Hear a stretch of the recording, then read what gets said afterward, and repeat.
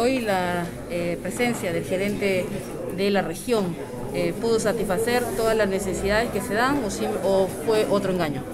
No, no ha satisfecho las expectativas ha tenido el cuestionamiento educado del regidor Jorge Ávila, del regidor Carlos Solano, del regidor José Loredo, del regidor Pijo y de mi persona, que tú has escuchado, estimados amigos, han escuchado, lo emplazado yo que hasta el día 27 a más tardar cumpla. Nos damos cuenta de la insensibilidad, de la dejadez, de la negligencia de los funcionarios del gobierno regional, porque aquí nosotros hemos cumplido, los dineros de la municipalidad están listos, los más de 700 mil soles. Qué pena que el gobierno regional piense que solo Trujillo es la libertad, que no le dé prioridad a la salud de las 12 provincias liberteñas. Nos habla de una planta en Pacalmayo. No, señor, nosotros queremos nuestra planta aquí en Ascope.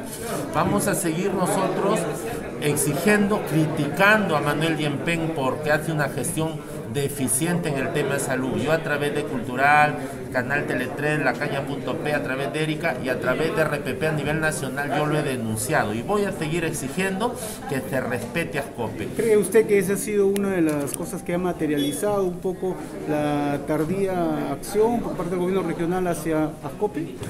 Por supuesto, porque si yo me hubiera quedado callado, hubiera guardado silencio, ellos ni hubieran venido, ni hubieran puesto hoy como hemos visto un plazo.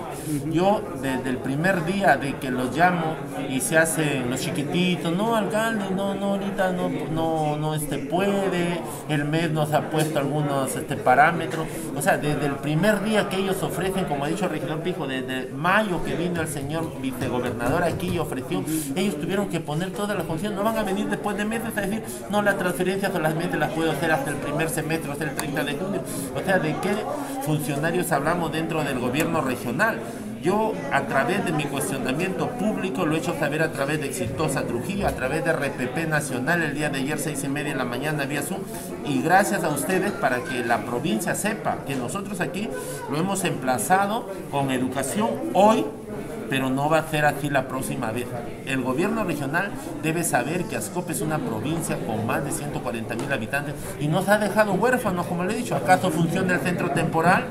¿Acaso han habido mejoras en el centro de salud de Paiján, en el centro de salud de Chocope, en el centro de salud de Casagrande? ¿O se ha acabado el saneamiento físico legal del ex hospital San Francisco? Para que nos demos cuenta que nunca más debemos de apoyar a esos gobiernos regionales ineficientes. ¿Qué pasaría si el día 27 no cumplen? Tendremos que a nivel de consejo tomar un acuerdo y ir a exigir a Manuel Diempen que sea prácticamente tome su decisión. Como ha dicho al emplazamiento de la regidora Liliana Escobar, yo renuncio. Si no van a cumplir hasta el 27, que se vayan porque creo que la región debe de pensar en todos sus liberteños y no solo en los trujillanos. Las palabras del alcalde provincial John eh, Cando a Manuel Diempen porque hace una gestión deficiente en el tema de salud. Yo a través de Cultural, Canal Tele 3, La Caña.p, a través de Erika y a través de RPP a nivel nacional yo lo he denunciado y voy a seguir exigiendo que se respete a Ascope. ¿Cree usted que esa ha sido una de las cosas que ha materializado un poco la tardía acción por parte del gobierno regional hacia Ascope? Por supuesto, porque si yo me hubiera quedado callado, hubiera guardado silencio, ellos ni hubieran venido, ni hubieran puesto hoy como hemos visto un plazo.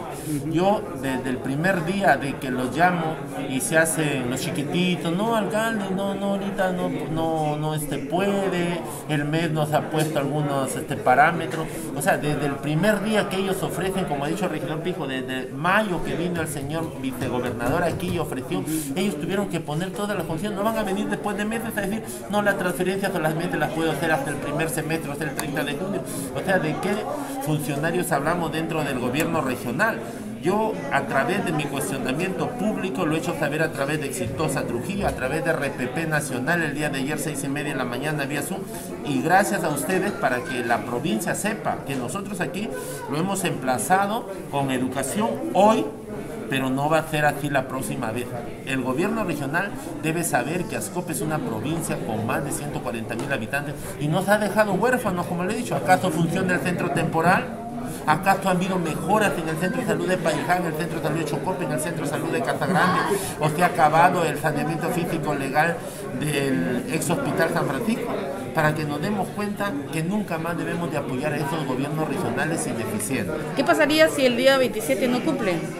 Tendremos que a nivel de consejo tomar un acuerdo y ir a exigir a Manuel Yempen que sea prácticamente tome su decisión. Como ha dicho al emplazamiento de la regidora Liliana Escobar, yo renuncio. Si no van a cumplir hasta el 27, que se vayan porque creo que la región debe de pensar en todos sus liberteños y no solo en los trujillanos. Tengo las palabras del alcalde provincial, John eh, Vargas Campos.